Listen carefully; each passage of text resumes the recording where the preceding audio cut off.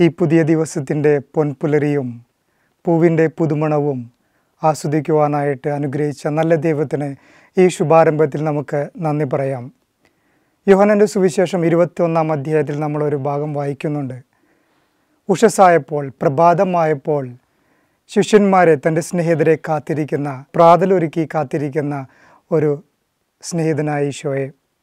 പ്രിയമുള്ളവർ ഇന്ന് ഈ പ്രഭാതത്തിൽ നമ്മൾ നമ്മുടെ ജോലിക്കായിട്ട് ഇറങ്ങിത്തിരിക്കുമ്പോൾ ഈശോ നമ്മളെ കാത്തിരിക്കുന്നുണ്ട് പ്രാതിലൊരുക്കിയിട്ട്. നമ്മൾ യാത്ര ചെയ്യുമ്പോൾ നമ്മൾ ജോലിയെടുക്കുന്ന ഇടങ്ങളിൽ നമ്മൾ കണ്ടുമുട്ടുന്ന ഓരോ വ്യക്തികളിലും ഈശോ ഒളിഞ്ഞിരിക്കുന്നുണ്ട്. നമ്മളിൽ നിന്ന് നമ്മോടൊത്ത് പ്രാതൽ കഴിക്കുവാനായിട്ട്. ഒരുപക്ഷെ നമ്മളിൽ നിന്ന് ഒരു സ്നേഹത്തിന്റെ പുഞ്ചിരിയാകാം ഒരു ദയുള്ള നോട്ടമാകാം അവിടുന്ന് നമ്മളിൽ നിന്ന് ആഗ്രഹിക്കുന്നത്. പ്രിയമുള്ളവരെ നമ്മുടെ ജീവിതത്തിലേക്ക് നമ്മളൊന്ന് നോക്കുമ്പോൾ നമ്മളിൽ നിന്നൊരു മാറ്റം മറ്റുള്ളവർ ആഗ്രഹിക്കുന്നുണ്ട്. നമ്മുടെ കൂടെ വസിക്കുന്നവരാണെങ്കിലും നമ്മുടെ ജോലിക്ക് പോകുമ്പോൾ നമ്മുടെ കൂടെ യാത്ര ചെയ്യുന്നവരാണെങ്കിലും നമ്മൾ ജോലി ചെയ്യുന്ന ഇടങ്ങളിലാണെങ്കിലും നമ്മളിൽ നിന്ന് എന്തൊക്കെയോ അവർ പ്രതീക്ഷിക്കുന്നുണ്ട്. അതൊന്നുമല്ല ഒരു സ്നേഹത്തോടെയുള്ള പുഞ്ചിരിയാകാം ഒരു ദയുള്ള നോട്ടമാകാം.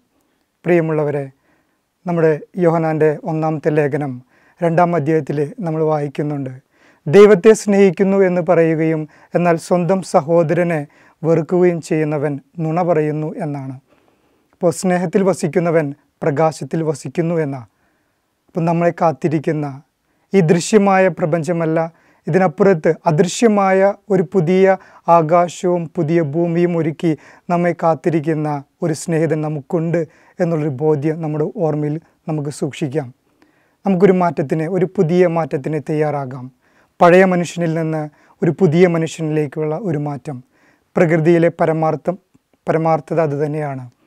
നമ്മൾ കാണുന്നുണ്ട് ഒരു പുഴു ഒരു പൂമ്പാറ്റിയായിട്ട് മാറുന്നത്. ഒരു വിത്തിൽ നിന്ന് വൻ വടവൃക്ഷങ്ങൾ ഉണ്ടാകുന്നത്. അതുപോലെ ഒരു പാപിയായ മനുഷ്യനിൽ നിന്ന് ഒരു പരിശുദ്ധനായ മനുഷ്യനിലേക്കുള്ളൊരു മാറ്റം.